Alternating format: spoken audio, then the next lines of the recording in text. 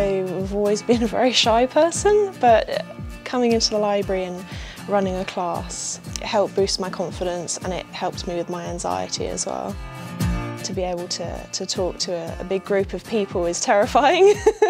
I'm definitely more confident in, in speaking to people. In school I, I definitely struggled to make friends because I was so shy and quiet, but boosting my confidence with the club has definitely helped me sort of make new friends in, in uni and we did a, a group project in uni where we had to work in a group of three, so it was me and two other people. And we worked quite well together because I can communicate a lot better now, thanks to the library and, and the club I, I ran.